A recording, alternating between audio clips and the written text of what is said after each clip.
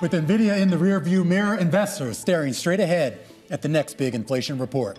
Live from Studio 2 here at Bloomberg headquarters in New York, I'm Romaine Bostick. And I'm Alix Steel. Nice to see you, by the way. Nice to see you too. So, you know the thing I learned last no, week? What did you learn? Is that nothing changes is that the market still doesn't want to go down. This is my takeaway from last week, where we counted down into the close right here in the U.S. So to my point, I appreciate the fact the S&P is off two tenths of one percent, but volume's a little bit mixed. But it's hard to get a sustained downward move. I was really struck by that, no matter what headline crossed uh, last week. I did want to point out, though, some fun stuff going on here. Altice is up a whopping 41%. Charter Communications down by about two.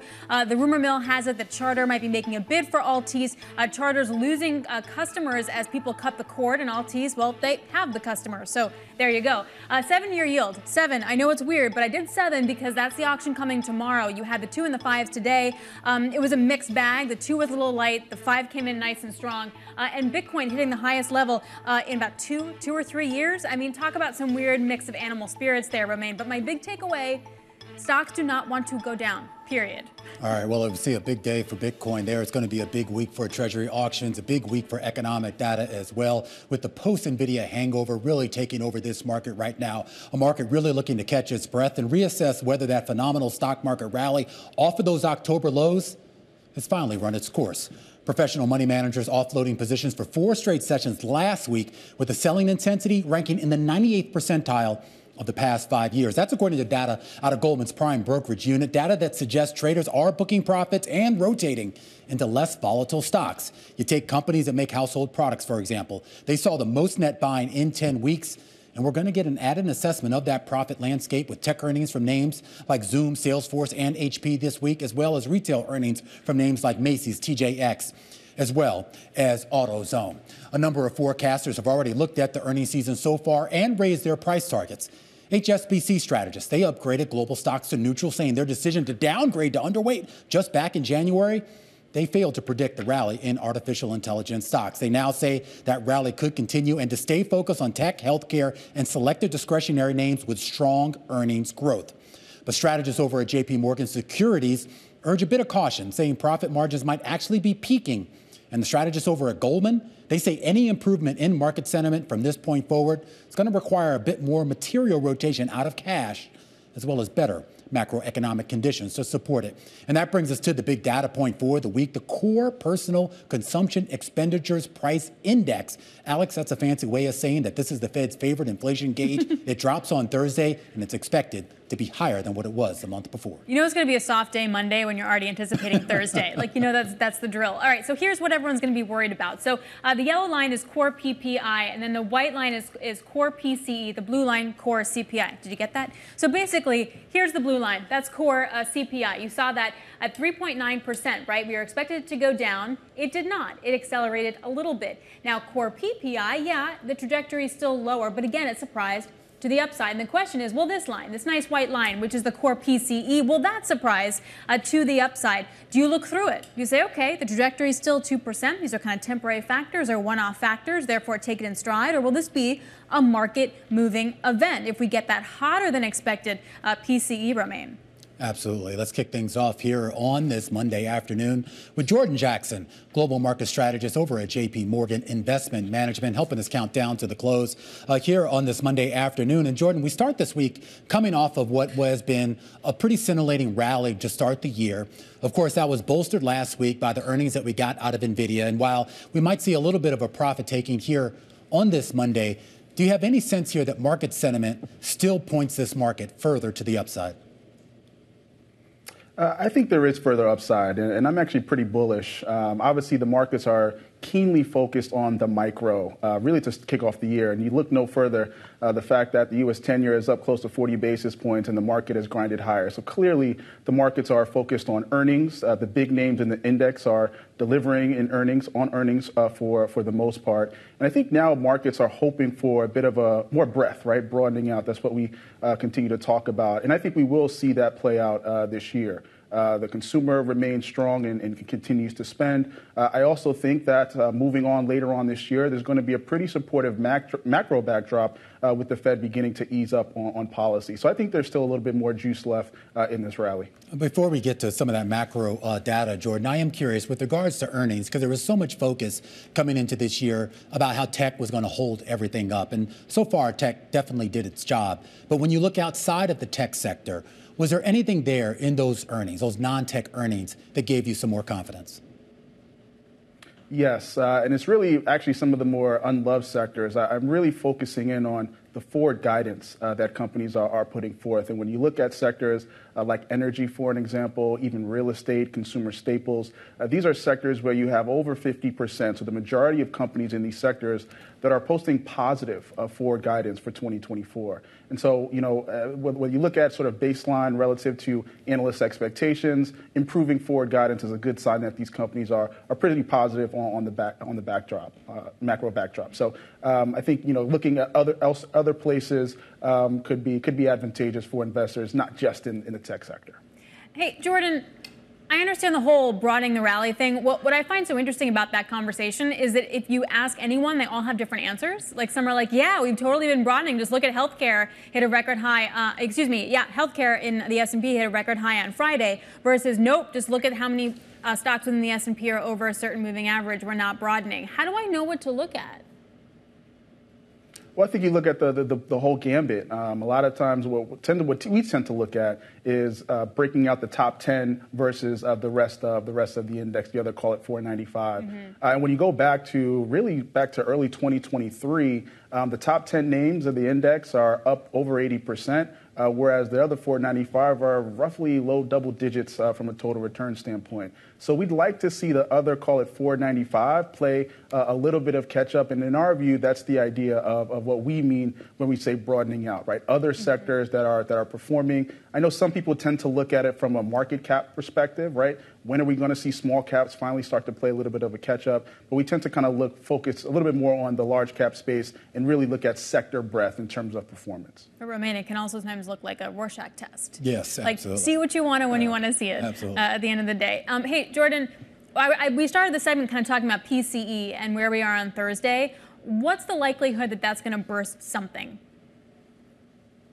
Uh, I don't think it's going to burst something. The, the, Fed has continuously talked about wanting to see uh, a trend in the data, and a trend we know is now roughly three months or so. And, and January is going to be, I think, a bit of an outlier. Uh, when you look at the labor market statistics, obviously uh, at, at, the surface level, very, very strong uh, BLS employment report for January. But we have to remember there's a lot of seasonal adjustments that go into uh, that happen at the beginning of the year. So I would take some of the data with a grain of salt. I do think some of the inflation numbers that we've seen so far in January suggests maybe a bit of a bump uh, in the road. But I still don't think that this is a uh, worrisome longer term uh, trend that inflation, that the disinflation trend is no longer on track. We're still in the camp that inflation should continue to move lower and hit 2% uh, by the end of the year, but it could be a bit of a, a bumpy road. And that gives, does that give you more confidence in the story that we've heard from a lot of folks on the fixed income side, Jordan, this idea that it's finally safer to extend duration in the bond market?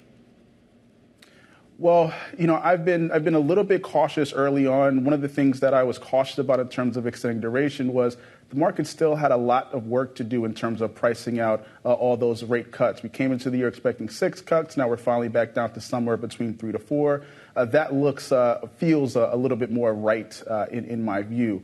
I will say, though, I've been cautioning investors not to have a one year outlook on rates, but to really have a two to three year outlook on rates because you know, the reality is the inflation, it could be a bumpy ride down to 2%. Um, obviously, economic growth remains strong, and there is the concern that if you have growth that remains above trend, that potentially stokes increased aggregate demand, and you could see some demand driven inflation in the economy uh, as well, particularly if labor markets remain as tight as they are and wage inflation, uh, real wage growth remains positive here over the next couple uh, the next couple of months. And so, having a two year outlook though on rates, you can yeah. feel confident that the Fed is going to have cut rates uh, we can argue till we're blue in the face in terms of how many times they cut rates, but inflation is likely going to have normalized and growth is going to have stepped down when we look ahead towards 2025. And so I feel pretty confident uh, that rates will be lower over a two year horizon, maybe a little bit less so over a, a three to six month horizon. All right, going to have to leave it there. Always smart, Jordan.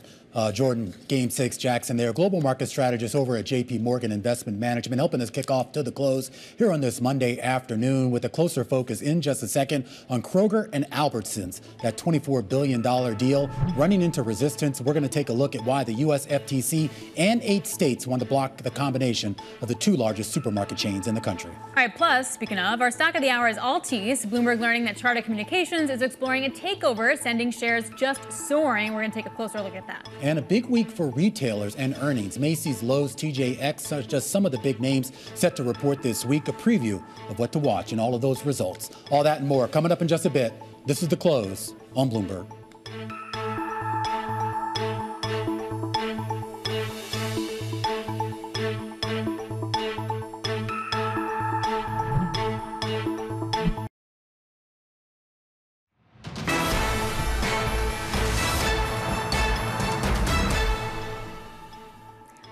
Buy an EV if it had a baguette holder. Said no one ever. Yet, however, that's one of the things that's coming out of the Geneva car show. There is a lot of high-end stuff and high-end tech uh, that we're looking at. Renault is trying to woo some people with a baguette holder as well as lower-priced EVs with their R5E Tech City car. You also BYD is pitching a floating, apparently, luxury SUV. GM wants to hook up with some luxurious uh, European retailers for their EVs.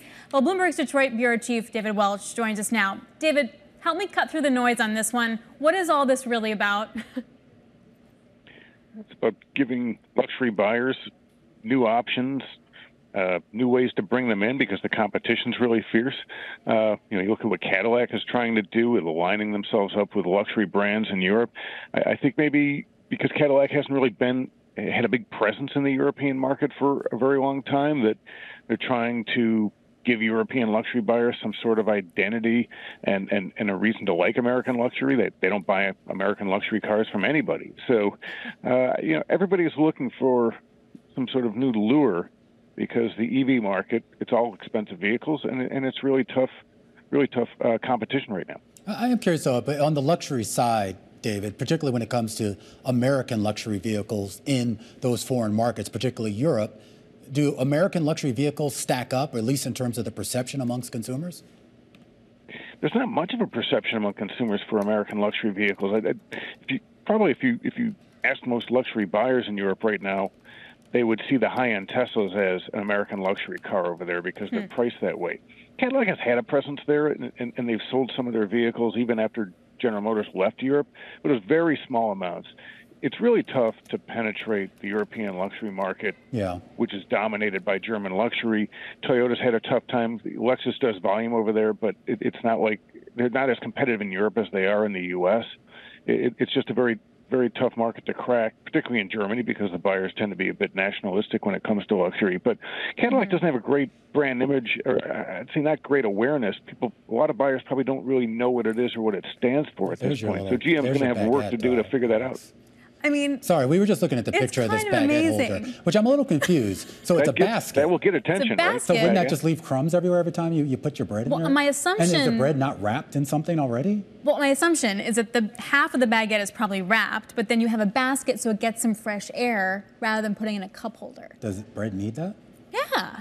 Okay. I, I mean, I don't know. I'm just trying to figure out who would buy it based on a bread basket. But I think the point is that EVs are hard to sell right now. The first adopters have yeah. gotten in. Where do you put the butter, though? I don't know. That's a really good question. Do they have a butter holder? Because that know. could be key. I mean, David, does all this just speak to the fact that the first mover advantage EVs guys have had their day? Like, if I wanted one, I would have bought one yesterday. It's about getting the regular people like me and Romaine to buy one that proves to be the problem.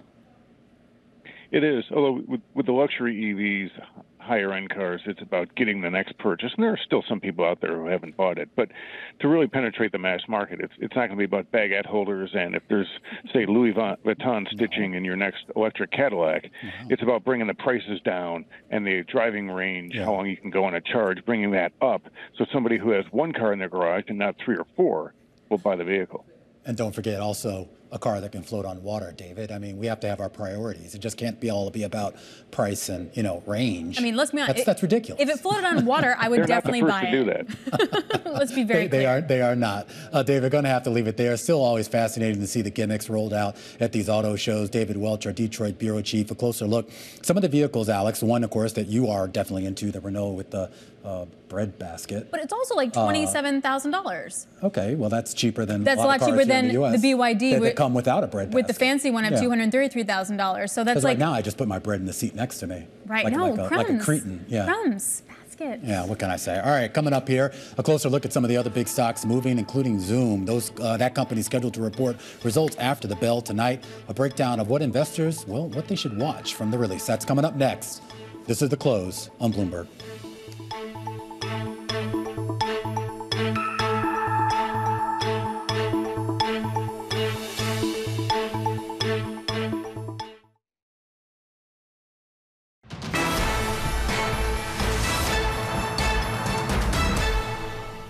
Let's get a view from the sell side with our top calls, the big movers on the back of analyst recommendations. And we start off with Amer Sports, the maker of Wilson rackets and other sports equipment. Remember, it went public just last month, now generating mostly buy recommendations from analysts starting coverage of the stock.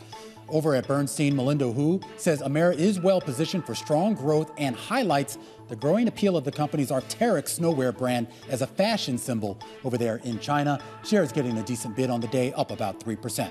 Next up, let's take a look at Gap.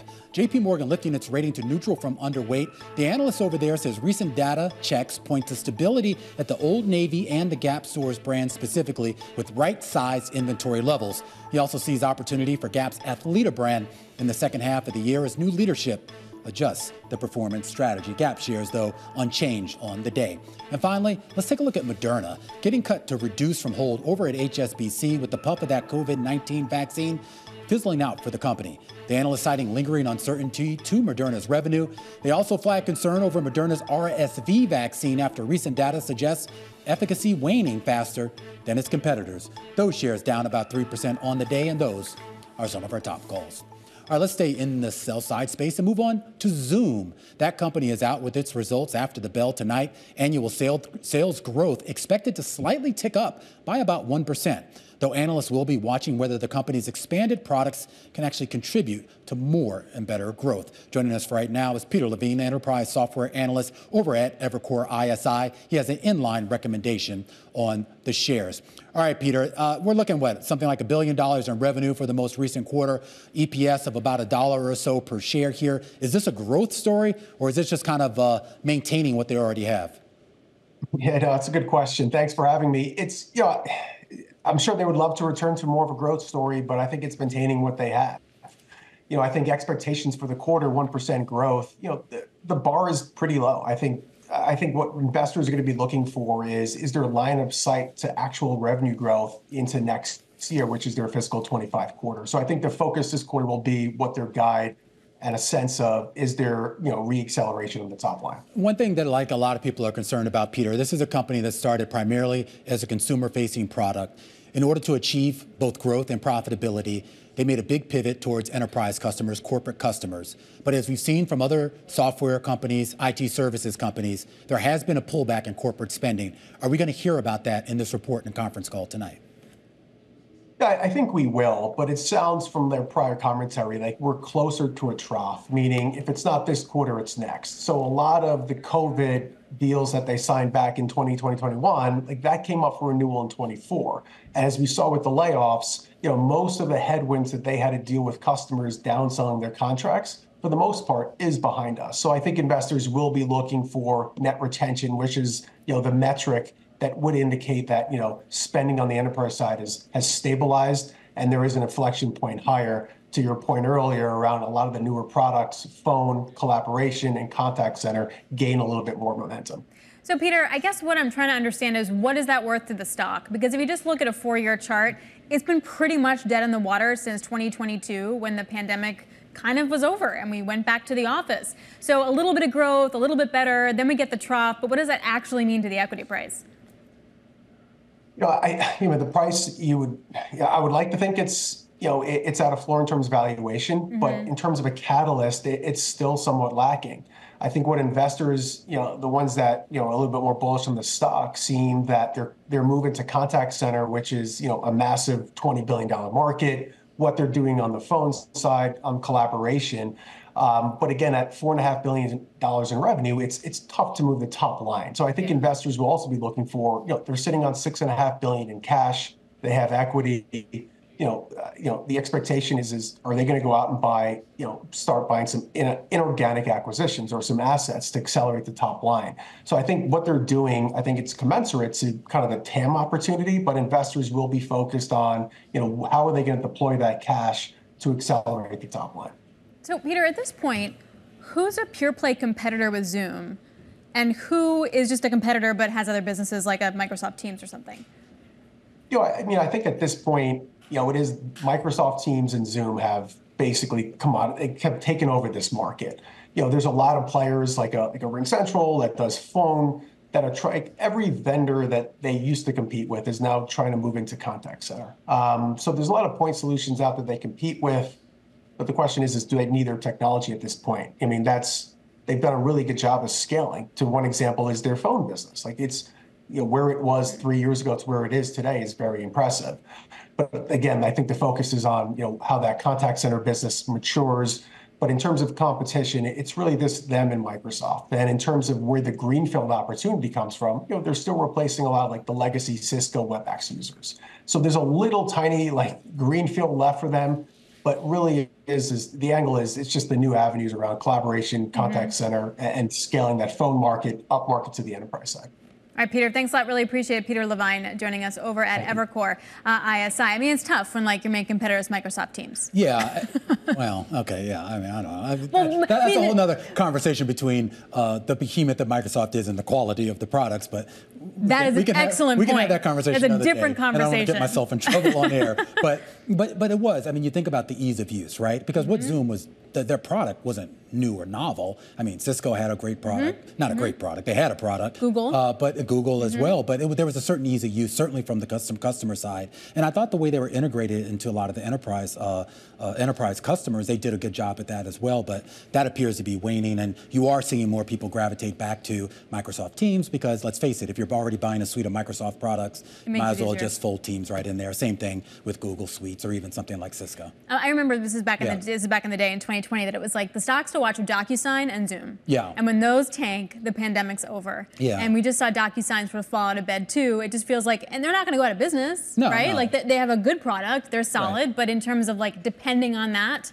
for our survival, it's it's you don't need it anymore in the same way. Yeah, but this stock has just come such a long way from the early days of oh the pandemic. Gosh, when, uh, what was it, 568 bucks in uh, October of 2020, and now mm-hmm. we're down around 63 bucks here. So maybe there is a growth story, yeah. story there, Alix. Or, or we'll have to find it. Yep. All right, well, coming up, talk about growth. We'll get a preview of what to watch in this week's big retail earnings. Macy's coming up next. This is the close on Bloomberg.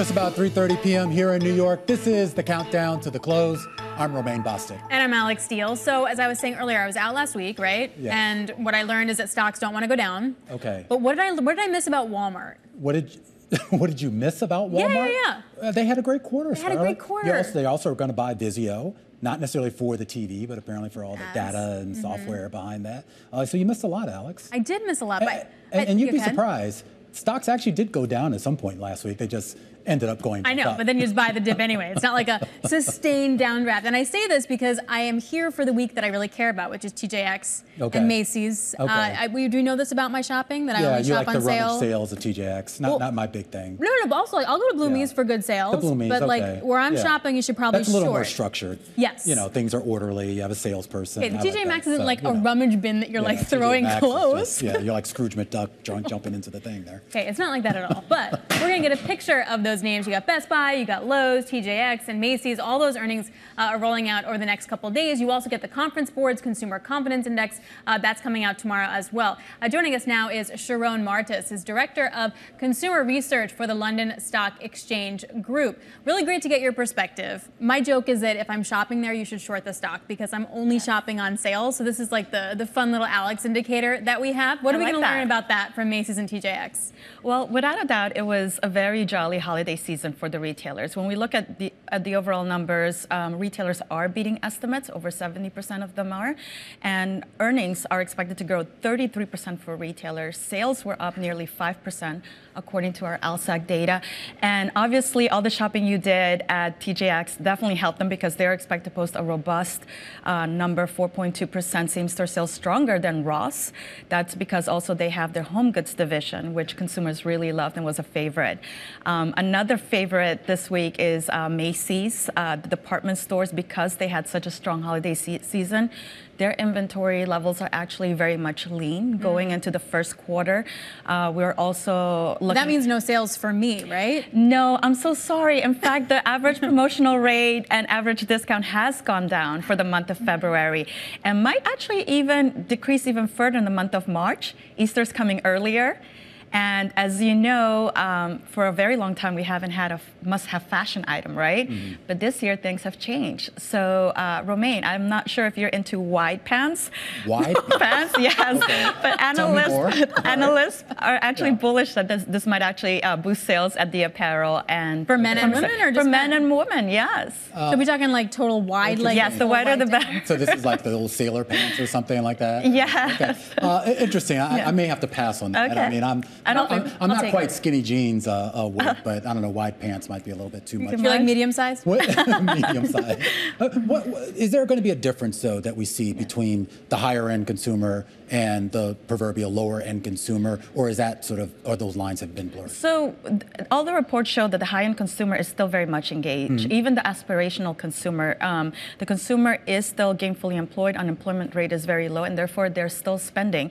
Uh, TJX especially got a boost from the aspirational consumer that still want designer clothing, but for less. So that consumer is still shopping. The dollar stores is also expected to do well this week. They're Yeah. receiving um, a boost from the low-end consumer that's just sticking to those staples, though. Well, what about though the department stores like a Macy's, Bloomingdale's, which also owned by them as well, Nordstrom? Are they sort of affected by the idea that we are going more uh, the proverbial I, not a me, but that we're all going to a TJX or Ross stores or something like that? Macy's so far now. So the holiday season was strong, right? We had a very strong holiday season, earnings growth of 33%, but those are already expected to drop to 12.9% for the first quarter.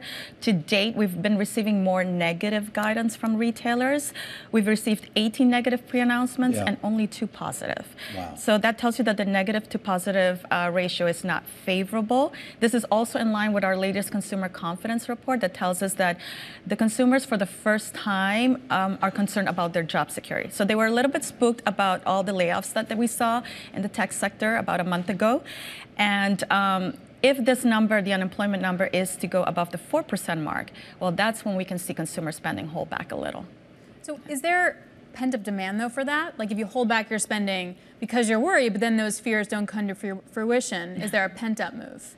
So in general, when we look at where the strength is for the remainder of the year, consumers, when they open up their wallets, that will still be at the services. They're still going to go traveling. They're going to spend it at restaurants, eating out, and looking at entertainment. That's where the money is expected to continue to be spent. In terms of pent-up demand, that might happen at a retailer or apparel department store that might have those wider pants when you have a new trend coming in. I see. So that's when you, that's I have wide You, oh, you own a pair of these wide pants? I have a pair. So I buy my jeans from this designer in Paris, and Oh, I mean, wow. I know it sounds super fancy, Okay. but it's not. They, they, they get them like super cheap for like 34 euros. But yeah, they have like the wide Yes. leg. Yeah, well, Scarlett's they're coming really back. into it too. Wide- Yes. You know, I got invited to a party that it, you had to wear either fur or, or Oh. animal print. Which one did you choose? I own neither, so so I told them I can't go. What? No, you I should definitely buy one. Funky party. Was I this mean, just you no- not wanting it's to go to the Paris party? Jeans there. I mean, you know, uh, what can I say? I have a lot of solid colored suits in my, in my wardrobe. Um, what, what is the correlation, do you think, to around, I know it's a silly question, but the stock market? Like the stock market's not the economy, right? Right. But if we have some kind of, you know, record high after record high after record high, is there a confidence read through Yes. spending? So absolutely. When you look at the consumer confidence, we do have one particular index, one component that actually has improved and has become more positive. positive, and that is the consumers' expectations about the future. They've seen that the stock market is being healthy, and they actually do believe that things could change for the positive because it's an election year, so things could change, and therefore the expectation index has actually been improving in a time when the job index has come down. So that balances it out. And, and any concern, though, about that shift to services, the idea that more people were spending more of their disposable income, say, on services rather than, say, you know, buying a new pair of wide pants or whatever fancy jeans Alix has shipped in from Paris over.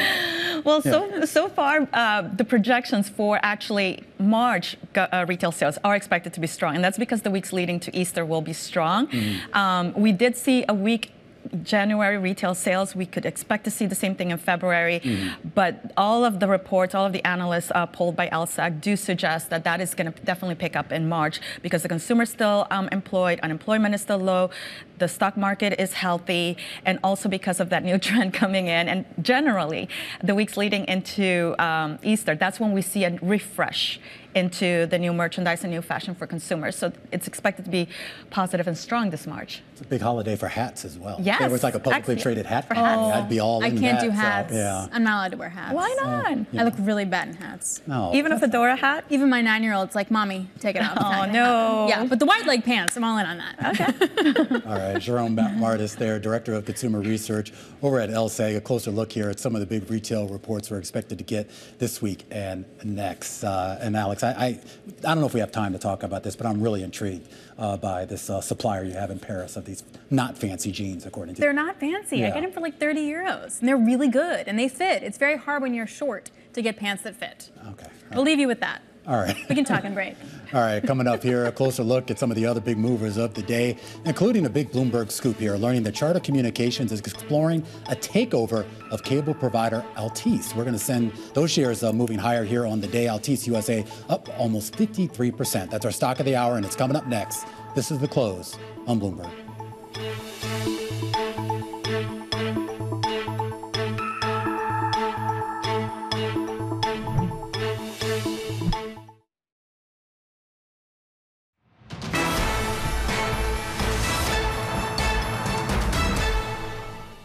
It's time now for our stock of the hour, and it's a big one. Shares of Altice right now soaring more than 50% on the back of that news that Charter Communications is exploring a takeover of the cable provider. Abigail Doolittle joining us right now to talk a little bit more about this. And we should just point out this is according to people familiar with the situation. The companies have not confirmed or denied what's going on. But the reporting right now is that these two companies would tie up says Altice has what about five million or so uh, customers. How many customers does Charter have? What are we looking at in total? It would be the biggest broadband company if they came together with thir- about 35 uh, million subscribers. So instantly you think of regulatory concerns. But if we back up as to the why, as why this might happen, both of these companies have really been struggling. Earlier this month, Charter lost 61,000 internet subscribers, which, with what we were just talking about, doesn't sound like a lot. But given a year ago that there was a gain of 105,000 subscribers, numbers are going in the wrong way. So for two reasons: one, people are cutting the cord, and then second, there's lots of competition from the wireless providers. I have certainly done that my, myself in the past. Uh, the three largest gained nearly a million subscribers in the fourth quarter. So when you put that together with Charter's loss, you can understand that they're in pain. Now, Altice uh, is one of the largest providers. It's smaller, of course, than Charter, but one of the largest, as you were mentioning, about 5 million subscribers. They're in 21 states. And Patrick Drahi, I hope I'm saying his name correctly, he's made it clear everything is for sale. So this stock right now, as you mentioned, at the highs, it was up 63%, the most since the IPO. And I should have mentioned to just really underscore the idea of the loss that we had uh, for Charter earlier this month, the stock was down 17%, the worst since 2009, the worst day on record. So they're really looking uh, to do something.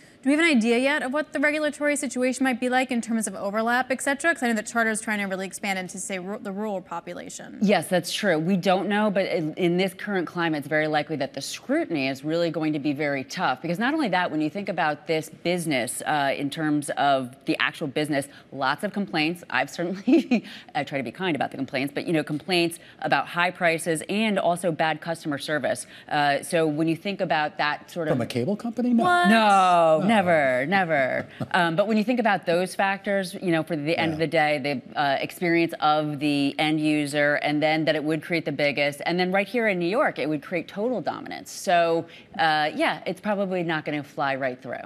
Investors, though, they seem obviously uh, Altice investors seem to be very enthused by this. Yeah. But even charter shares only down a couple percentage uh, points, which would seem to suggest that people have somewhat okay with it. I mean, if they were really unokay with it, you would see the shares down a lot more. It's probably too early for charter communication uh, investors to really weigh in. Something to think about here is uh, they do, Altice has $25 billion worth of debt, and they also have a corruption scandal in Portugal, which is unlikely to affect numbers for Altice USA, mm. but it's something for people to think about. So at the end of the day, I think that the charter communication investors are going to be thinking about whether or not this potential deal would really bring up the growth in the numbers enough to offset those negatives. All right, Abigail, thanks a lot. Really appreciate it. Abigail Doolittle joining us there. We don't know how far along necessarily they are in the talks too, but I do feel like the idea of you know, the regulatory climate's quite interesting. You could also yeah. make an argument that announce a deal now and then just wait out the clock yeah. until November and see if the environment changes. I think in terms of antitrust, the one advantage they might have is that we're talking about businesses that are in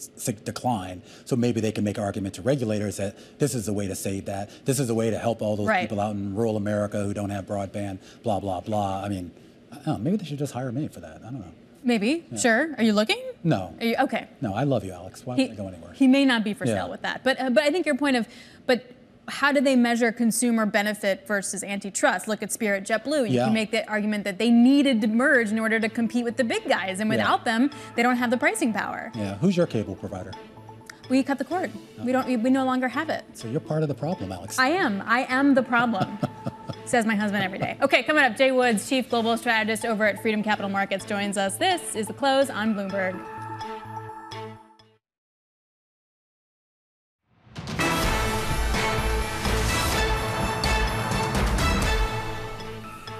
This is the countdown to the close. Romaine Bostick alongside Alix Steel. 10 minutes, Alix, until we get to those closing bells. You missed all of the action last week, Alix, and you're not really getting any here on the first day of the I'm week, but that really could change. Yeah. I know it could change, yeah. but I'm really not. Volume is a little bit mixed. We're a little bit lower, but I put it in quotes because like down two tenths of one percent feels like nothing. It's going to be a buy the dip kind of scenario. Yeah. Um, and what's leading and what's losing, I find interesting. So S&P Energy is the best performing sector. Utilities are one of the worst performing sectors, and for similar reasons. story? No, I think that's a natural gas is up today's story. Ah. So therefore, utilities are going to get hit a little bit, and uh, oil is up. Therefore, that's good for energy stocks. Why? Because it was cold for like two days this weekend or something. Yeah, maybe. I, I never know. understand how those energy prices work. I but, mean, but, I mean 160 yeah. though for natural gas. That's a boon for these yeah, guys. Absolutely. Here. All right. Uh, we are going to talk a little bit more here about what's going on in the commodity space. But as we count down to the close, a focus on stocks and U.S. stocks losing a bit of steam here to start the week. Traders awaiting the big eco data later in the week, and we had a chance to catch up with Jordan Jackson over at J.P. Morgan Asset Management, who's still feeling positive about things. I think there is further upside, and, and I'm actually pretty bullish. Um, obviously, the markets are keenly focused on the micro, uh, really to kick off the year. And you look no further, uh, the fact that the U.S. 10 year is up close to 40 basis points and the market has grinded higher. So clearly, the markets are focused on earnings. Uh, the big names in the index are delivering in earnings, on earnings uh, for, for the most part. And I think now markets are hoping for a bit of a more breadth, right? Broadening out. That's what we uh, continue to talk about. And I think we will see that play out uh, this year. Jordan Jackson there kicked us off to the close about an hour ago. Here to take us to those closing bells, Jay Woods, Chief Global Strategist over at Freedom Capital Markets, joining us in studio. And Jay, I mean, we're looking at a market. I mean, everyone's going to talk about, oh, we're kind of in this holding pattern right now. This is still an S&P flirting with 5,100, an S&P that's already delivered relatively decent gains on a year-to-date basis. Do you think there's more left in the tank? I do. I don't think it's going to be a straight shot higher. I mm. think we're going to chop a little while. But uh, any closing high from here on out is an all time high. That's a positive thing. And uh, like Jordan said ahead of me, I, I agree with him. I think we're going to see a broadening out, and we're starting to see it in industrials, healthcare, and financials, minus the regional banks. And that is a good narrative for a healthy bull market. A secular bull market will rotate, and uh, we're not seeing all Magnificent Seven stocks go up. Three of them are flat to down on the year, mm-hmm. and uh, this, this, is the sign of a healthy market. Do you think, though, that if we do see that rotation into uh, some of the names, the sectors that you talked about, do you think that's going to be at the expense of tech, meaning people taking profits from that rally and then putting it into those other areas? I actually do. If you go back a week ago Thursday, 10 of 11 S&P select sectors were up. One was down. It was technology. It was the first time that happened since August 2022. Mm-hmm. So we're seeing tech lag in certain aspects of it. The big names continue to skyrocket as we've seen,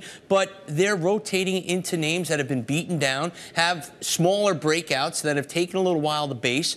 And, and I think this is very constructive under the surface. It's not going to make headlines. Uh, you're not going to hear people talk about HCL, HCA Healthcare making new news, uh, new 52 week highs. But to me, that's big news, and that's what I'm looking at. So is the money coming out of tech, or is it going to come from like money market funds or the RRP? Just like a lot of liquidity still sloshing elsewhere in the market. Well, it's going to come from the sidelines, first of all. There's okay. more, more cash on the sidelines that hasn't been put to work. And then, yes, people want to stay in this market. It has been rewarding investors. And what they're seeing is some pullbacks, like an Apple that mm-hmm. hasn't really done anything this year. And let's see where there are opportunities. And those three sectors I mentioned earlier, industrials, healthcare, financials, have those opportunities. Do you think that as we have all the liquidity on the sidelines, does mm-hmm. that eventually run out?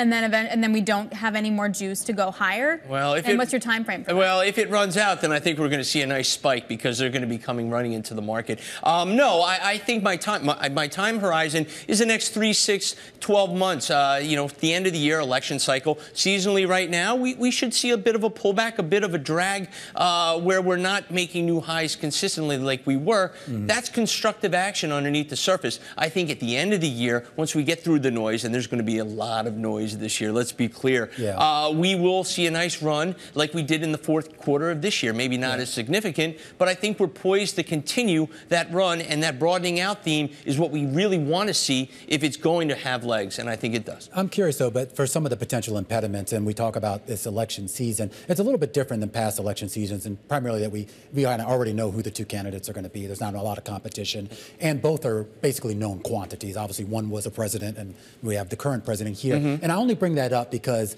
do you think that maybe the volatility we typically get in an election year might be a little bit more smooth given that we're dealing with known quantities? Um, Yes, but I don't even know if the known quantities are going to make it to the election site. I don't want to be one of yeah, those yeah, conspiracy yeah. theorists, gotcha. but I, I think that those headlines that they generate won't really react overall in the market, there will be pockets of volatility. Mm. If the, the Republican uh, Representative Trump is leading, you should see defense stocks starting to rally. Mm. Uh, if it's Biden again, maybe those solar stocks, some of those you know green energy stocks get a bid again. Yeah, but that trade didn't work out. It didn't uh-huh. work. But what's funny is, it, it, as it anticipated into it, mm-hmm. energy didn't really work uh, into Trump. But as he got into power, uh, 2016, uh, we, we saw them run into it. So the anticipatory names, defense stocks should rally in, in Republican, you know, led, uh, you know, win at the ballot box. We'll see. That's that's what we'll have to watch as we get closer and those poll numbers start to shake out and we have an idea who the nominee and the eventual winner is going to be. Do you have to hedge downside? Um, you always want to be ready for anything. But no one seems to be wanting to do that. uh, yeah, there, there aren't a lot of sectors right now that you look at and you go, I want to be short these sectors because they the, the sectors that have made the downward move are starting to base. You look at that. Uh, I'll go back to healthcare. You look at Pfizer and Bristol Myers. Those stocks have done nothing for two years. Well, they've done something new. They've stopped going down. They're starting to bottom. To me, I think we're starting to see slow bases starting to form underneath the surface. Uh, so there isn't a sector that I want to stay out of. Uh, but what we've seen, and we saw at Palo Alto Networks, mm-hmm. perfect example. Those companies that have done well that haven't guided well, they're going to punish them. They're going to punish them hard. Now, it's made a tremendous comeback. Thank you, Nancy Pelosi, for taking a position in the stock. But the, the stocks that do not perform well, do get beaten down. So you have to be very specific within the sector. But I do think at the end of the year, the tide will lift more boats than normal, and we'll get a broadening of that rally. All right, Jay, always great to talk to you. Jay Woods, he's Chief Global Strategist over at Freedom Capital Markets, helping us count down to the close, just about three minutes away. Alix, I know you're really enthralled by this market, so you want to walk through the numbers for me? Oh gosh, fine. All right, we're looking at the S&P doing a whole lot of nothing. All right, it's down three tenths. Oh wow. So that's something, okay. right? All right. Uh, but you I get. set you up for but but the tech yeah. is pretty, but tech is pretty much uh, flat. In fairness, though, I mean we are going to get some potential catalysts this week. Obviously, with the retail earnings coming out this week, uh, a big PCE report on Thursday, potentially big, I should say here, and that could really move the market in a similar way that we saw with Nvidia last week and with the CPI and PPI reports the week prior. Yeah, I guess. Yeah. I don't know. It just it just feels like it, the, the the consensus is buy. Yeah. It's going to be, re- it's really hard for stocks to go down. Individual names have you missed for sure. That's something different. What's going to change that narrative? And I, I genuinely don't know. All right, well, we're going to have a full breakdown here of all the market moves on the day and set you up for the big market moves on the week. Stick with us. We're going to take you to the bell and beyond. Beyond the Bell, Bloomberg's comprehensive cross platform coverage of the U.S. market close starts right now. And right now, we are two minutes away from the end of the trading day. Romaine Bostick alongside Alix Steel. We're counting you down to the closing bell. You're here to help take us beyond the bell. It's a global simulcast with Scarlet Fu joining us in the TV studio, Carol Masser and Tim Stenovec on Bloomberg Radio. A welcome to all of our audiences across all of our platforms here at Bloomberg. As we count you down to the close, Carol Masser. Yeah. Not a whole lot of action here on the day, but that could change over the next couple of days. Absolutely. It's jam packed economic data, right? We're going to get the uh, Fed's preferred inflation uh, measure. That's a key one, but there's lots of them on consumer sentiment. Michael McKee was on with us earlier talking about the importance of durable goods and what we get there. So we're going to be going through all of that data. We have some Fed speakers as well. So there's a lot to get through, uh, certainly over the next week or so. We did find a little bit of action when it came to the price of Bitcoin today. I knew you would go there. Up 5% today. Best levels, what, since 2021, December of 2021. Above 54,000. Above 54,000. And Uh, that's why those um, crypto related companies are standouts in today's trade. MicroStrategy up at double digits. is this all Coinbase up because of double digits. MicroStrategy, though, Scarlet? Like, is MicroStrategy is a reflection of Bitcoin. Yeah, but I mean, Saylor came out and said he bought more. So is that why it's up? I don't know. It's just this Can we- can we vicious cycle or virtuous cycle, however, depending on the price action. Chicken or the egg? Chicken or the egg I at the think end of the people day. were bored today, right? And I just feel like, okay, let's play around with Bitcoin. Yeah, well, I mean, that is basically the, the only real action you're seeing in the market. But it gets to the broader question right now. I mean, well, at least according to Alix, that and, you know, I don't know, her the pants that she buys from Paris. But we get to this idea. Oh, wait, wait, wait. Uh, Pants in Paris? I know. wait, wait. We got to talk about that. I mean, we spent like an hour on Bloomberg We TV did. talking We did. about it. You can go back and rewatch it. I will go Off air, rewind. too. Yeah, Scarlet and I are all over this. Uh, yeah. Scarlet, Scarlet, you're a part of this cabal. Too? I'm, I'm bringing her on. I'm Yeah. bringing her on to the I'm Parisian joining jeans. this. Alix having a bad influence on the team here. Uh, we'll get back to Alix and her shopping habits in just a second. Let's walk you through the numbers. Uh, with we get the closing bells here in New York. Most of the major indices going to finish the day in the red. The Dow Jones Industrial Average down 62 points, or about two tenths of a percent. The S&P down 20 points, or about four tenths of a percent. While the Nasdaq Composite is going to close lower by about 21 points, or one tenth of a percent. One of the few bright spots out there, at least on the equity side. That's the Russell 2000, outperforming the broader market once again, and maybe that is what you want to see. Jay Woods was just talking about it, a broadening of this rally, a six tenths of a percent gain on the Russell 2000. All right, yeah, broadening out, right? It does feel like some of that going on in certainly in today's uh, session. Uh, Scarlet, just a quick check on the S&P 500. You had most names to the downside, about 339, 162 though gaining ground on this uh, Monday. All right, let's take a look at the sector performances. Go to the IMAP, which shows you uh, where you have declines, and utilities, which is of course one of the smallest sectors in the S&P 500. The biggest loser is down more than 2%. Uh, communications services, obviously a bigger sector, also down by more than 2%. Real estate investment trust losing more than 1%. On the upside, uh, modest gains really in energy, consumer discretionary, and tech. All right, let's get to some of the individual gainers. Go figure. The number two gainer in the S&P 500. Nothing high tech here, folks. Uh, Domino's Pizza. It was up uh, almost 10% at its highs today, finishing the day though with a gain of about 5.8% here. Fourth quarter same-store sales uh, in the U.S. Uh, beating expectations, so bugging a tr- bucking, excuse me, a trend that we've seen among some of the fast food chains.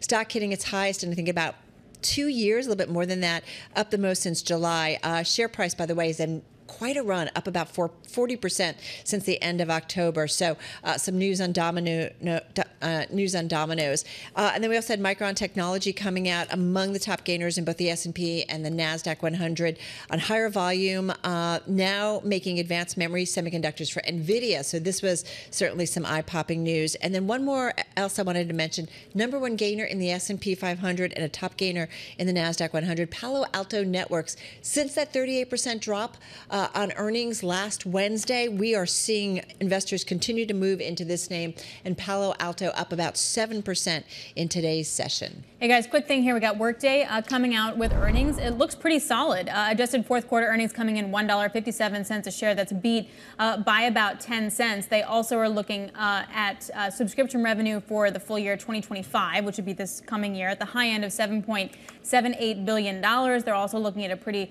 uh, solid inline margin for this year, about 24.5 percent. They're also looking to buy HiredScore, which just looks like a straight up software company right here uh, in New York. Yeah, the stock it's is HR, down. HR stuff. Is HR Yeah. stuff? Okay. The stock is down more than 2% right now in trading, but it's interesting that you bring up that M&A because there's so many of these enterprise software companies. You wonder at what point uh, more consolidation will start to combine them. Every every earnings season around this time, yeah. we talk through all these enterprise software companies. They're small and they're very nichey. Yeah, I, would, I can't remember the number, but I remember we were speaking with uh, Anurag Rana, and he was giving us the actual total number of these companies that are out there, and it was it was an insane number. And he was basically they're being started every day. that it just has to come. You know- it has to have that Yeah. consolidation. It's interesting you say that. We were just speaking with Ann Miletti over at Allspring Global Investments, and she said we see more M and A on the horizon, especially when it comes to tech companies. She says executives have to get more comfortable that rates are going to be stable and, and where they're going to be, but she expects uh, M and A to pick up in the later part of the year. Hey, I do want to get to some decliners. Uh, pretty easy to find some notable decliners today. I do want to start with big tech name uh, shares of Alphabet falling more than 4.4 percent on the day today. This is amid concerns about how it's faring when it comes to generative AI. I don't know if you saw any examples of this over the last few days. People posted it on uh, Twitter and on X and on threads and wherever people are going these days um, about the differences in terms of like asking questions to uh, Alphabet's platform. Uh, formerly known as Bard, Gemini, um, and they addressed some of that last week. But there are concerns, and there was a note from um, an analyst out today that said that um, this poses a risk to its search business, that it's not necessarily getting this right right now. And we saw shares uh, really respond as a result of that. Uh, also, want to take a look at shares of Charter Communications because speaking of M&A, our own Bloomberg team uh, wrote that Charter Communications is exploring uh, a takeover of, of Altice USA, a smaller cable provider. That's according to people with knowledge of the matter. CNBC did report that Altice uh, has not been approached formally at this point. Um, Charter working with financial advisors as it studies the merits of a potential deal for the U.S. broadband and video services provider. Uh, the people said asking not to be identified.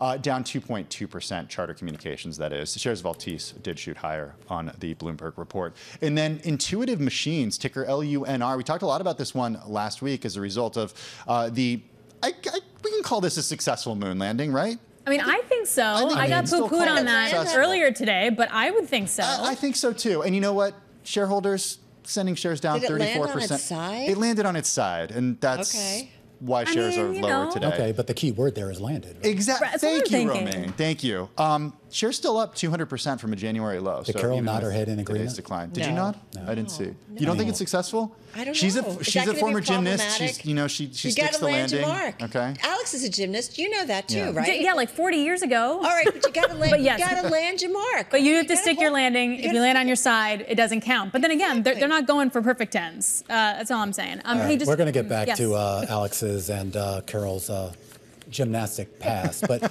Zoom earnings are out. Zoom Video, of course, the meme stock darling that at one point was trading at almost $600 a share at the height of the pandemic, now trading at $65 a share, though it is moving higher here in after hours trading.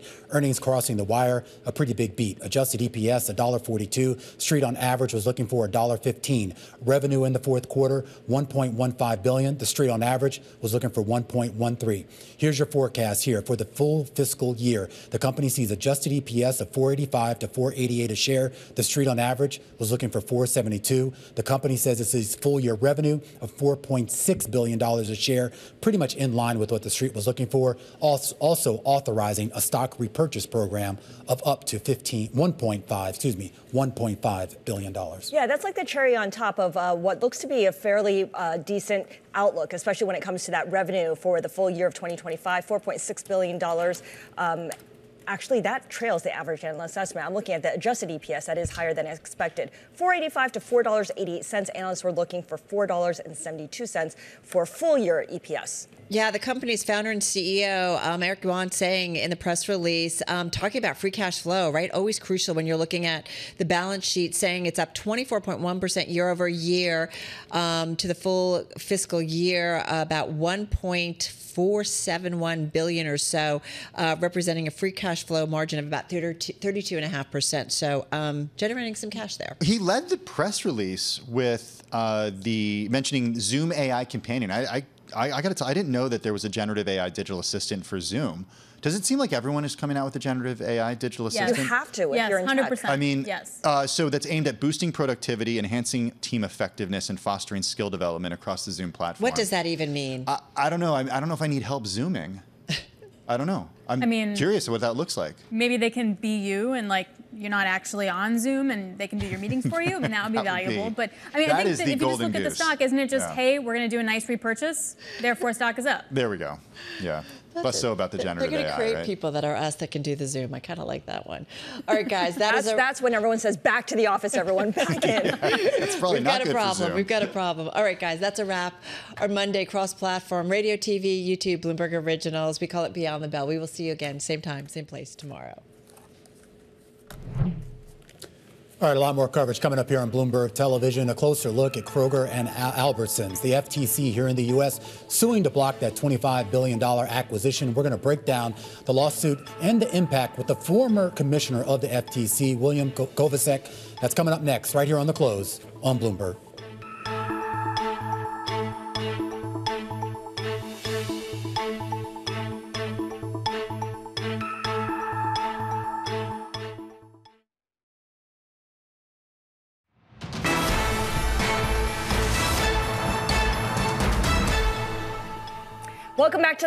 I'm Scarlet Fu with Romaine Bostick. New week, new markets, maybe kind of. We have the stock market rally stalling a bit here with the S&P 500 retreating from its record high.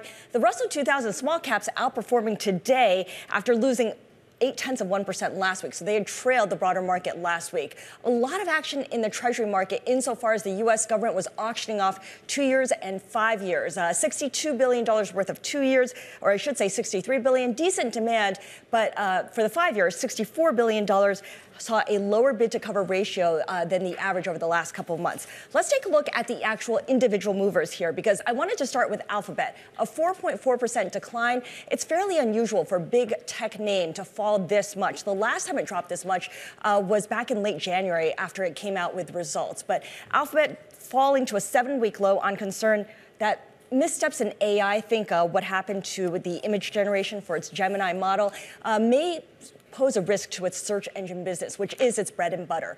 Kroger's, of course, down 2% as the FTC, along with eight states and Washington, D.C., are suing to block its purchase of Albertsons. And of course, we'll get into that in a little bit. Palo Alto Networks up 7.3%, the best performer in the Nasdaq 100 and S&P 500 after last week being the biggest decliner for those two indexes. Uh, there was a report that, a disclosure that Nancy Pelosi, former Speaker of the House, bought call options on Pan, uh, Pan W, Palo Alto Networks. And Domino's Pizza uh, rising on earnings almost 6% on the day after fourth quarter comparable sales in the U.S. beat analyst estimates, a bit of a contrast to what we've seen from other fast food chains uh, this earnings season. Romaine? All right, earnings still flying across the wire. Zoom earnings just came out a little while ago here. The company beating on several key metrics in the most recent quarter. A dollar, uh, excuse me, 1.15 billion dollars in revenue, a dollar 42 in adjusted EPS and guidance, at least on the bottom line, coming in above street estimates. Michael Turrin joining us right now from San Francisco. He's Wells Fargo's senior analyst covering this company. He's got an underweight rating on Zoom shares and underweight probably for good reason, Michael. But I am curious when you look at the results today and maybe the potential commentary we get in a, a few minutes here. Any hope here that maybe we could see more material upside. Yeah, I mean, you're characterizing it well. Thanks for having me on. I think the one thing that investors are likely to focus in on most here is the buyback. So we've gotten a lot of questions from investors around what Zoom intends to do with the now $6.5 billion in cash they've built up on the balance sheet. Um, this authorization to repurchase up to 1.5 billion, I think, is something that at least answers one element of uncertainty for investors, which is what does the company intend to do um, with its cash? The other elements of this, the guide looks relatively in line with what we're expecting. We're still low single digits growth. The margins have already been um, so strong that yeah. I, I think it's hard for the company to do much more there. But it's really the buyback that's likely to get the most attention and interest in terms of the call today. But what's the story beyond that buyback? You mentioned the margins. I mean, we're talking about 32% gross yeah. uh, margins, so at least on the free cash flow side, decent cash flow growth as well. So this is a company still generating yeah. a lot of cash, but are they putting that back into the business in a way where we are going to be talking about that Zoom growth story that was the big narrative in 2020 and 2021? This is something that happened to a lot of software companies. They got stuck between growth and value land, right? I think Zoom's management team still um, thinks of this as a growth focused company. The challenge is they effectively won their market during COVID, and, and lapping that has been really difficult. So I think they continue to talk about the use of AI um, and transcript capabilities within the technology. They're going to draw more attention around things like phone and contact center but the core strength and the size and scale of Zoom is still just heavily wedded towards what's happening on the video side.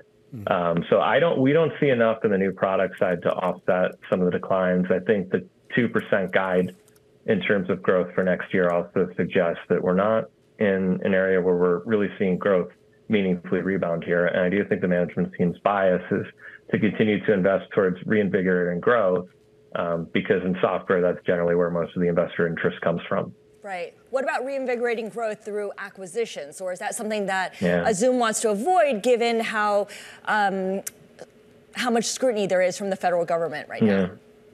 Yeah, I mean, the the regulatory question is a good one. I think in in, in telco, um, in some of the surrounding markets, deals have just taken a very long time.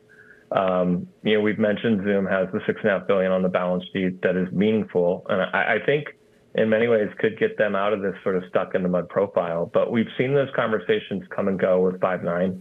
Previously, I think investors would like to see them acquire something in the surrounding communication space. So something like contact center, uh, we think makes sense because it's something that a lot of their customers have that's a higher spend profile.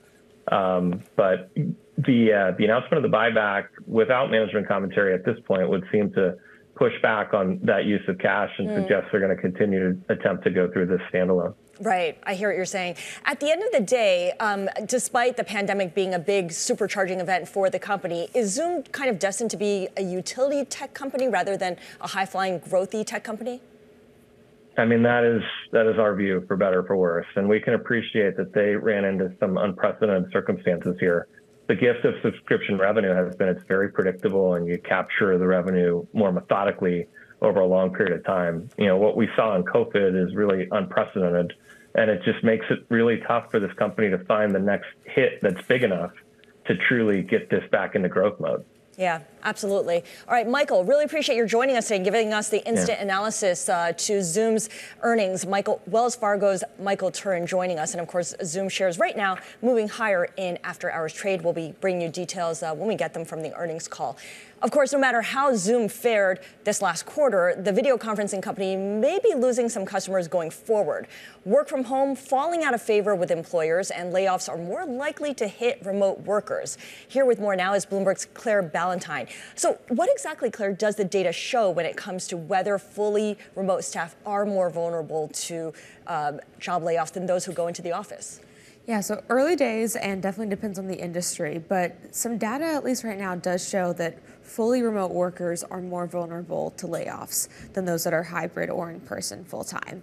Now, we're just starting to see, you know, lots more white collar employers lay off workers, and we've seen sort of the power shift back to employers from employees. So it's still kind of playing out, but at least right now, it, it seems like going in the office at least some of the time is beneficial for you.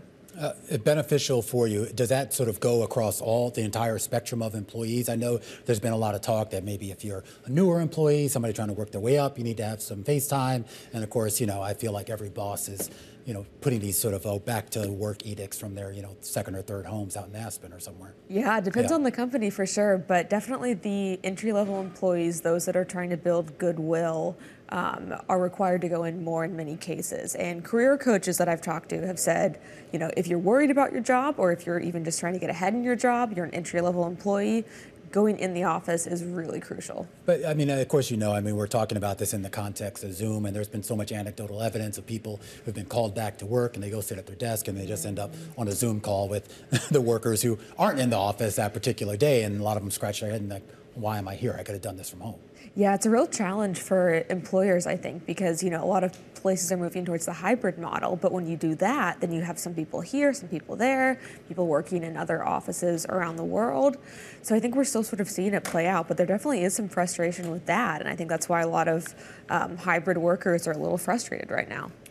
Can you give us a picture of what it looks like here in the U.S. versus the rest of the world? Um, I, I, my understanding is in the U.S. there's a lot more resistance to going back into the office, in part because of the long commutes and the costs and everything else. But has that movement to go back to the office picked up steam overseas more so than here in the U.S.? It definitely depends on sort of the cultural landscape of things, and we know in the U.S. it is so expensive in many cases to commute. Um, you know, just in in New York, people can commute up to two hours, and that takes away from times with their family. Yeah. So people are still kind of balancing that, I think.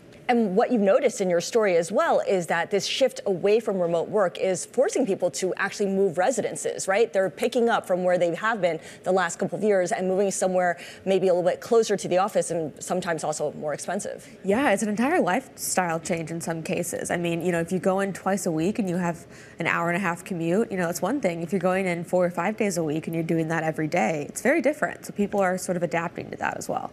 All right, Claire Ballentine. Uh, uh, I guess what are you? Like our work from homes are now, although you have to actually come into the office to do that job, which is kind of ironic. but yeah. Nevertheless, we thank you for your service. Uh, all right, Zoom shares, we should point out too, uh, still holding on to some of the big gains, uh, 10% uh, up here in after hours trading. And you nailed it, right? The frustration is when you're in the office and you have to get on a Zoom call Yeah. with people who are sometimes at home or also even in the office. They're just Yeah. sitting in a different part of the office and working on something else at the same time. And this is one reason why I think some of the gloom and doom over like Zoom and, and whether and their competitors, Mm. the idea that we're not going to use them as much because we're coming back in, but the world has just changed, right? So even if you're here, there's been there was some great reporting over the weekend uh, out of the New York Times about uh, business uh, business travel and how Yeah. that's kind of gotten consolidated, right? People aren't doing the same amount of trips Yes. that they used to. They're still traveling, but not necessarily as frequently. So a lot of stuff still needs to be done uh, over teleconference. Yeah, that's a really great Yeah. point. Um, I talked to a couple people when I was in San Francisco last week who said just that. They're not traveling for business at all because everyone would rather gather on Zoom. Speaking of San Francisco. Is there anyone left in San Francisco? That's what I was going to get Yeah. to. Downtown Okay. was fairly empty, Yeah. um, but then you go into the suburbs, everyone's everywhere. I mean, the suburbs have had a revitalization Yeah. completely. Yeah, because they can zoom in. Yeah, from- but but you know what? For the Warriors game, everyone came into town. further so- down and then left as soon as the sun went down. exactly. That's just the start of Oh, it. All San right. Francisco. Coming up, we've got the top three, where we focus in on the top three movers and shakers at the center of the day's biggest stories. That's next. This is the close on Bloomberg.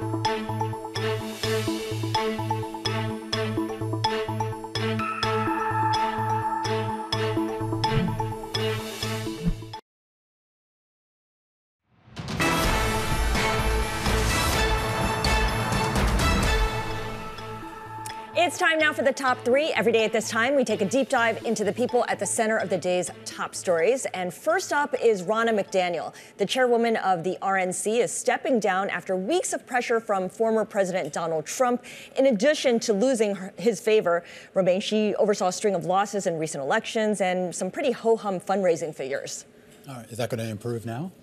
Well, I mean, if Trump gets uh, Michael Whatley, who heads the North Carolina Republican Party, and his daughter in law, Lara Trump, to be co chairs, as he's been pushing for, maybe it does. I mean, he's he's going to make the calls. All right, one to watch there, one that I'm keeping an eye on, and one of the most read stories on the Bloomberg terminal today is about Jane Fraser and her poaching a key executive from JP Morgan. Viswas Raghavan is leaving JP Morgan to join Citigroup to lead that newly formed banking revision. And if you remember, Scarlet, Jane Fraser completely upended yep. this company, reorganized it, and then one sort of piece that was missing was who was going to head this new banking unit. And this is a pretty sprawling unit. This is a huge role for him. Of course, he did kind of the same job at JP Morgan, though, with primarily a focus over overseas. This is mm-hmm. going to be a much more of a global position. And more importantly, he reports directly to the only person that matters, and that's Jane Fraser. Yeah, that's a really important point yeah. because um, at JP Morgan last month, he was just promoted to be the sole head of investment banking. But even then, there were several layers yes. between him and Jamie Dimon, the CEO of JP Morgan Chase. Yeah. This is, you know, really eliminating all of that. He can go straight to Fraser. Yeah, and I'm always intrigued by these sort of, uh, you know, when one, one big company poaches mm-hmm. a, a, big executive from one of their rivals here. Of course, JP Morgan was quick to elevate a couple of folks there to fill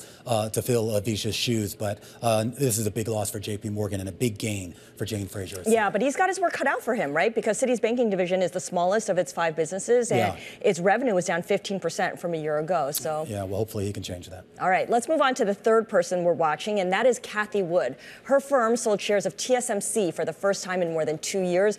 Overall, Wood is trimming her holdings in the global chip bellwethers as the AI frenzy intensifies. You have now both TSMC and Nvidia dropping out of the top 10 holdings of her ARK autonomous tech and robotics ETF. Yeah, I'm kind of intrigued by this. I remember there was a lot of criticism of her for not having a position in NVIDIA when the stock was going through. I mean, in fact, she sold it kind of before it really took off there. But she kind of made this case repeatedly that she was looking at kind of the next right. generation yeah. of generative AI companies. And there are a sprinkling of those in uh, her holdings if you go through her various ARK holdings here. But still, it's kind of curious that you don't have the granddaddy of them all right there, NVIDIA. And now, of course, TSMC, which most people think is also going to be a big. Yeah, no, that's a good point. I mean, yeah. it's not like she's making a fundamental change in her stance no, on no, AI no, at all. This is just more to get her portfolio weightings in line. But um, she has been criticized, like you said, for yeah. missing out on that big rally. And in her fairness, she did cite valuation at the mm-hmm. time, saying that it had already sort of had the big pop and, and valuation you know, now. Others, even. and you know, I mean, she's probably right, right? I mean, I think we all look at Nvidia and know that something's amiss there. So uh, maybe this proves to be prescient uh, down the line. All right, a lot more coverage coming up, including when we return, a look back on this day in history and the creation of the web browser, Scarlet. And we're going to leave you with a question before we go to break. What percentage share of the web browser market does hmm. Google currently hold? Pretty big. That number? we're going to give you a more detailed response when we come back after the break. This is Bloomberg.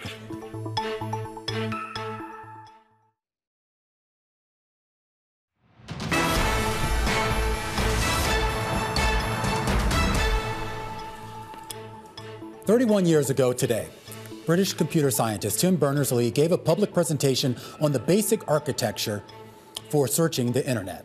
At the time, the internet was largely a text-based gated community used only by government agencies, universities, research institutions. This new web browser, though, originally named World Wide Web and later changed to Nexus for obvious reasons, it really revolutionized the main protocols that you use on the internet. In layman's terms, what Berners-Lee set was a public domain specification, think HTTP, HTML, it created a portal that could be easily used and searched by anyone, well, almost anyone. In his 1999 book called Weaving the Web, Berners-Lee highlighted the critical role of the NeXT computer workstations that Steve Jobs developed after he was ousted from Apple.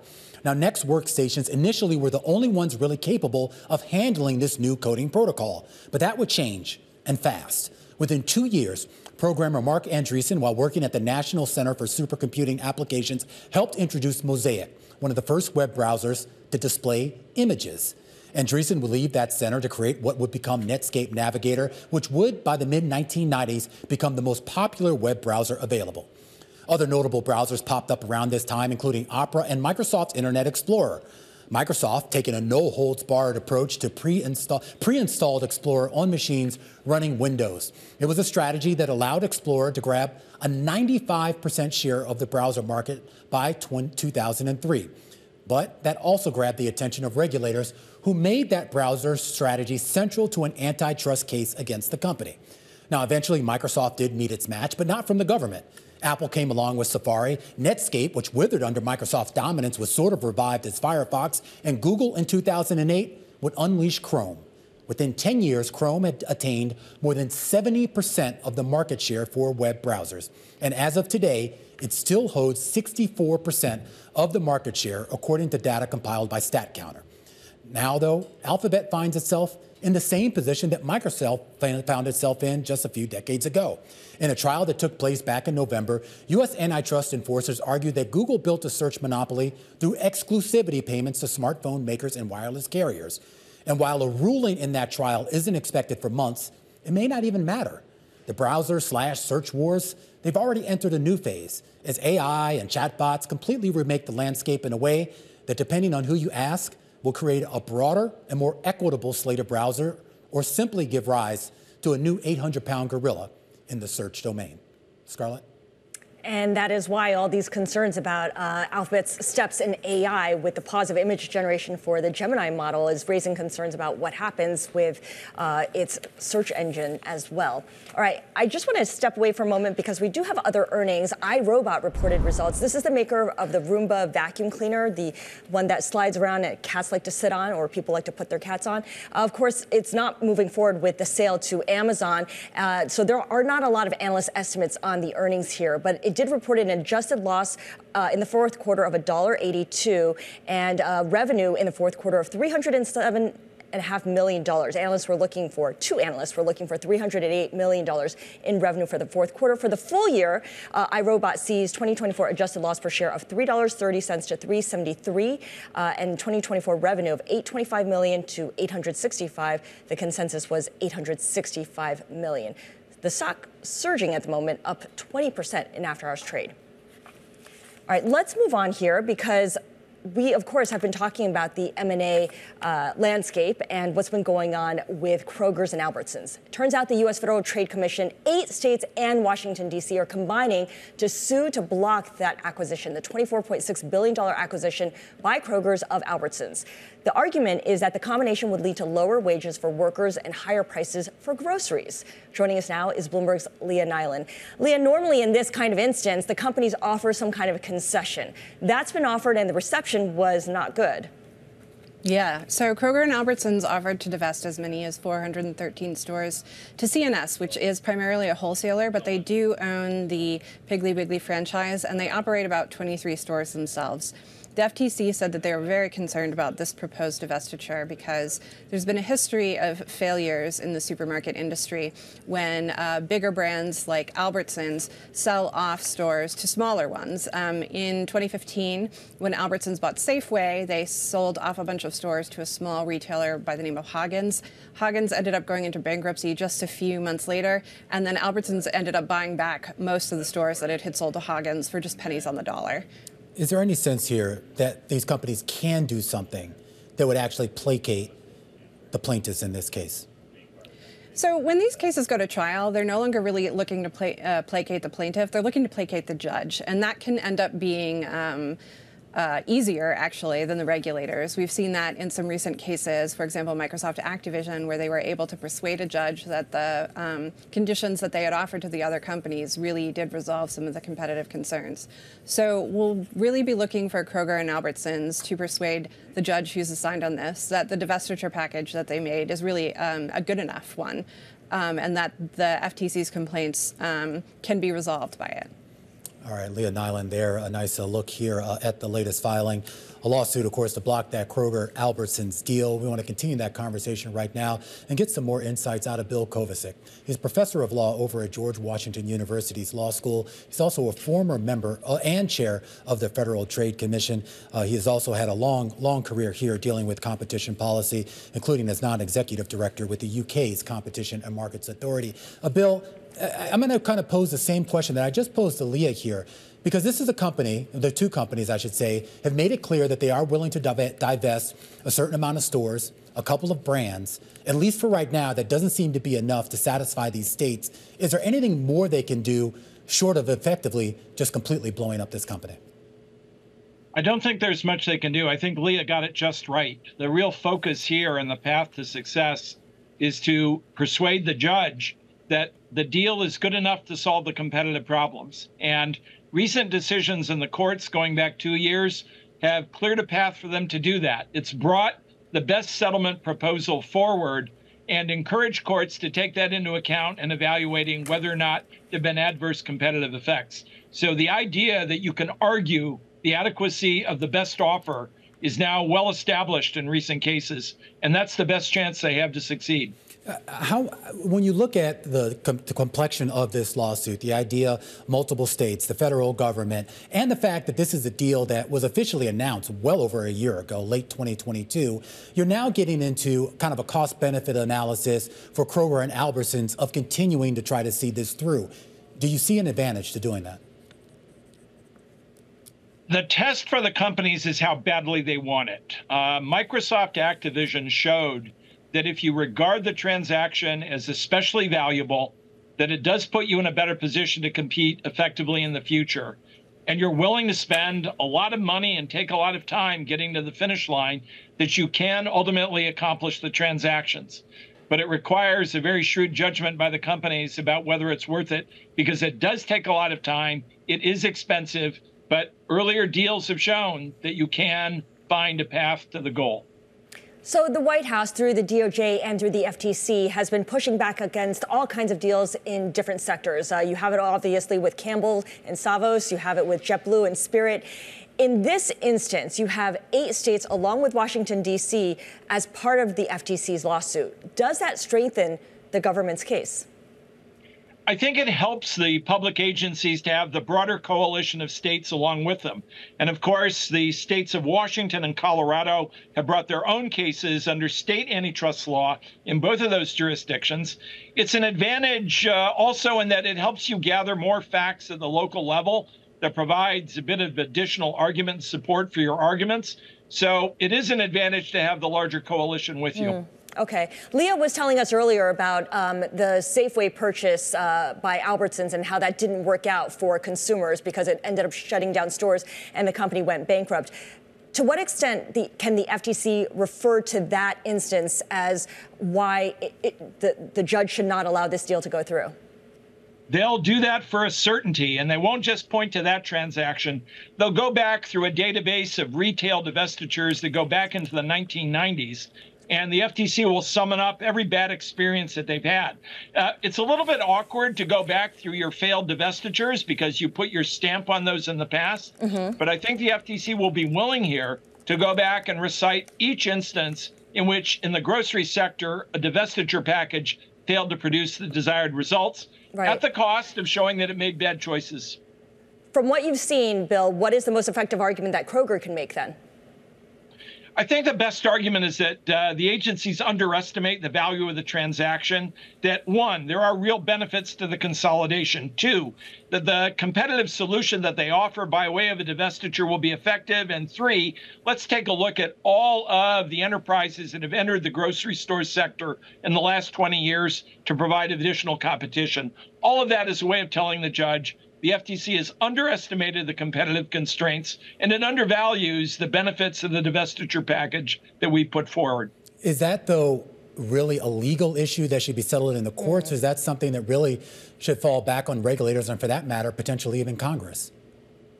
Uh, Congress has given strong signals to the agency to bring this kind of case. Uh, the fan base uh, that supports aggressive enforcement has been on this right away. Congress arguably is concerned with rises in food prices. So the, the encouragement for greater activism is, is, is unmistakable, I think, from both ends of Pennsylvania Avenue. Uh, the real question for the judge is going to be the judge's own intuition about whether the solutions that the parties have offered uh, are good enough. All right, Bill Kovacic, thank you so much for joining us. Professor of Law at George Washington University Law School, uh, giving us some insight here on the uh, lawsuit against the Kroger deal for Albertsons. Let's take a look at how markets closed on the day because after finishing last week at record highs, the S&P 500 in the red, losing about 19 points remain, but still edging towards 5100 and of course uh, some big gains for the last 6 months. Yeah, this might be a bit of consolidation, particularly on a day where we had at least uh, 3 uh, major uh, financial companies actually raise their year-end mm-hmm. price targets uh, for their 12-month price targets, I should say, uh, for the S&P 500. So a lot of folks right now, even though the average target is well below that 5,000 level, you're now starting to piece see people bump it back up to 5,100 and beyond. Yeah, but nevertheless, the stalling of the rally, and maybe we'll see a continued stalling until we get that PCE data point on Thursday, which uh, should be something that everyone's keying off of as a catalyst. Uh, you see treasuries moving lower, two big auctions today, another big auction tomorrow, as investors figure out whether uh, the market can digest all those extra treasuries. This is the close on Bloomberg.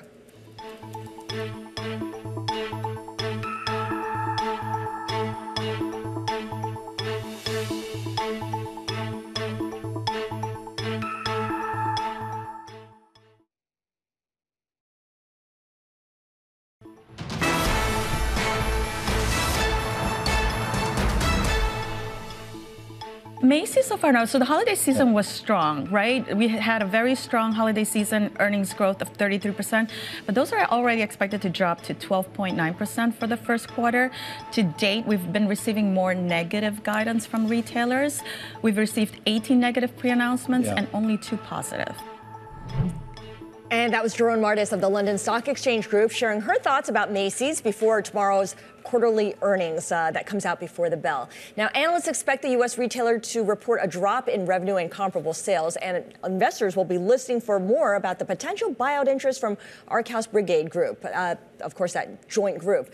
Joining us now for a preview is Zachary Warring. He is equity analyst at CFRA, and Zach has a buy rating on Macy's. How much is the earnings report kind of secondary to whatever Macy's says about uh, the potential acquisition? Yeah, I mean that's obviously big for them, um, but you know we think the the full year guidance is probably the bigger mover for the stock. Um, you know, shares trade at a reasonable valuation, about six and a half times, and um, you know if if earnings hold up and they have decent guidance, I think the shares can go higher. What's the growth story here for Macy's? Is there one? There really isn't a growth story. So, you know, my recommendation is more on valuation. Um, you know, sales are back below pre-pandemic levels, um, and they continue to trend downward. Uh, and so, and almost every metric is back below pre-pandemic levels. So, you know, revenues back below 2019 levels, earnings back below 2019 levels um, margins below 2019 levels. So um, it's not really a growth story anymore. You know, it's more of a valuation call for us. Um, you know, Dillard's reported a, a little while ago. Um, they had a strong quarter. Dillard's is a little bit different. Um, their fleet's a little smaller, um, and they buy back a lot of shares. So that's you know, Dillard's is a little different, but we think it'll kind of be in line with that. Dillard's saw sales down about five percent Right. Um, we think mid to low single or mid to high single digit sales decline for the year. Well, I'm, I'm glad you brought up Dillard's because I was looking at that earlier. You talk about a 5% decline in uh, same store sales here, but you still actually had a pretty big beat on the bottom line here. And I'm curious, uh, what can we read into that? Is there, even if the revenue growth isn't there, is there, for Macy's that is, is there something to be said about cutting costs and I guess right sizing in a way that at least improves the bottom line? Yes, there is. So Dillard's, I think, is a little different because of how many shares they buy back. So they've they've more than cut their uh, shares in half over the last five to seven years, uh, um, and they continue to buy back shares uh, really aggressively. Um, and so I think that has a lot to do with how you know their EPS numbers continue to you know generate you know pretty beat expectations pretty handily. Mm-hmm. Macy's is different. So Macy's doesn't buy back as many shares. They do have a small dividend. Um, but, you know, we think that they've kind of cut costs as much as they can. You yeah. know, they're a retailer. They don't have, you know, their their online presence is much lower than it was during COVID.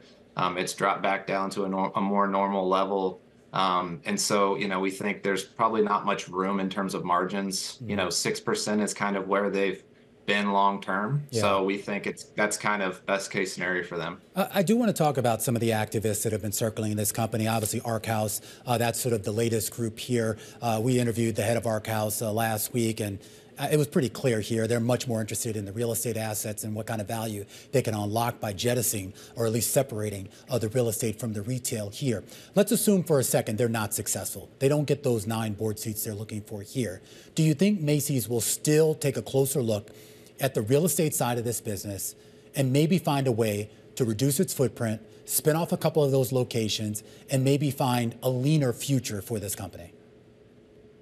Yes, I, I mean, I think they, they will. Um, so they, right now they've started a, a small, I think they've got 15 small stores is what they're calling them. So they're, um, you know, much smaller stores and they're, um, you know, in, in cities, metropolitan areas.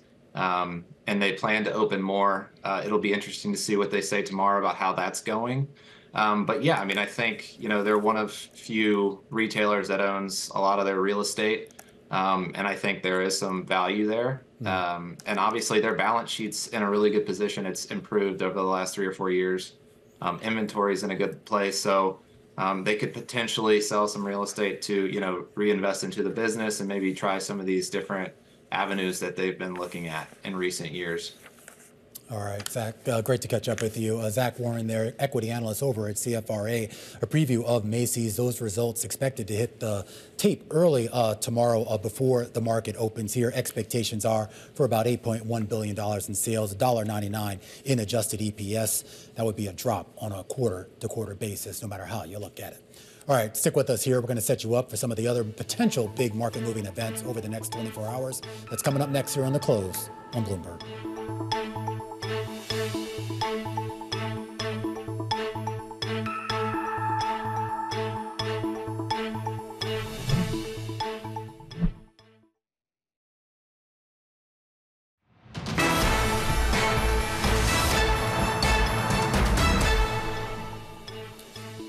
All right, still a lot of earnings out there, Scarlet, that we have to get to. Expecting earnings out of Cava tomorrow after the bell. The Mediterranean, fa- Mediterranean fast casual franchise uh, set to report, well, we hope is going to be earnings. Let's see what Bailey Lipschultz thinks, who covers uh, stocks for us here at Bloomberg. Are we expected to get actual earnings out of it? We're expected to get Yeah. results. They Yeah. were up 130% Yeah. from that IPO, so it does seem like kind of the whole sales pitch from management about growing same-store sales. Uh, according to analysts, looks like it's going to be on deck again. This is their third quarterly report since going public back in June. Uh, one of the first companies really to raise a sizable amount of money. And there was so much excitement around this. A lot. I mean, yeah, I have a family member who oh, he eats Cava like every single day. Really? And all I did was like, call me about this thing. Right? Is there a preferred protein? I haven't been yet. I don't know. You have to ask him. I'll call him tonight. It's my brother-in-law. I, my question is: Is Ozempic a good thing or a bad thing for a company like Cava? Well, we saw the William Blair survey that basically said uh, companies like Cava, Sweet Green are actually not going to kind of fall to the Ozempic effect, maybe to the degree that a McDonald's or a Shake Shack would. Obviously, if you're injecting yourself with shots, not eating as much food, maybe you are going to eat healthier. Yeah. But the big thing with Cava alongside Chipotle is the kind of premium proteins and the ability to kind of encourage consumers to trade up. Yeah. So that's going to be one thing to keep an eye on. And of course, you cover IPOs for us, and this was a much heralded IPO, which got people enthusiastic about new issues. Um, what are we looking for in terms of uh, what kinds of companies will be seeing whether Cava can deliver to decide whether maybe they want to go public? Well, Cava at the time last summer was really kind of seen as a potential bellwether for the restaurant phase. We've seen Mm. that kind of shift to the background. Now all eyes really are on Reddit and whether or not that can be one of the few technology companies not yet generating on an annual basis a profit, whether they can kind of encourage investors to come kind of step back to the plate. But we saw Reddit in that filing saying that they're going to sell shares to some of their most uh, active users. So it'll be Yeah. interesting how that plays out. Yeah, it's also interesting to see all the threads on Reddit uh, kind of poo-pooing that. Bailey Lipschultz uh, all over this for us here, keeping an eye uh, potentially on those results out of Cava tomorrow after Mm. the bell. And quite a few, uh, and we're actually going to get a chance to sit down with the CEO of Cava, Brett Schulman, on Wednesday, who will talk about those results. Meanwhile, over the next 24 hours, a lot to get to, including the WTO conference. I know something, Scarlet, you've been keeping a close eye on. Oh, yeah, absolutely. Yeah. It's the 13th ministerial conference in Abu Dhabi. It continues through Thursday. Mhm. And one thing that's already come out is this idea that the trade volume, global trade volume, may not reach uh, the WTO's own growth estimate of 3.3% in 2024. Yeah. Um, you know, the deglobalization that's taking place kind of hitting its momentum. All right, and in the world of politics, uh, believe it or not, we have another primary this time in Michigan, both the Republican and Democratic primaries. Not sure there's going to be any real surprises there. We kind I of know think who going the forward, there won't be any are. surprises uh, when it comes to But we do get some economic data that could be a surprise, right? Right, we've got durable goods at 8:30 a.m., but those are notoriously volatile. We also get consumer confidence at 10 a.m., which will be interesting insofar as what investors and consumers say about what they see as inflation, uh, what it looks like going forward. And I feel like this is going to become more important now because yeah. we've gotten past the hard data. This is really about how people feel. Expectations. And how, exactly. We're also going to get a lot of earnings, including from Norwegian Cruise Lines, Lowe's, and we were just talking about Macy's, a few others as well. Yeah, Macy's, and whatever they say about their M&A strategy or whether they're going to uh, succumb to the uh, imitations from activist investors. eBay, Beyond Meat, Cava, Vizio also on tap as well. Join us tomorrow for full market coverage, as always, right here on The Close on Bloomberg.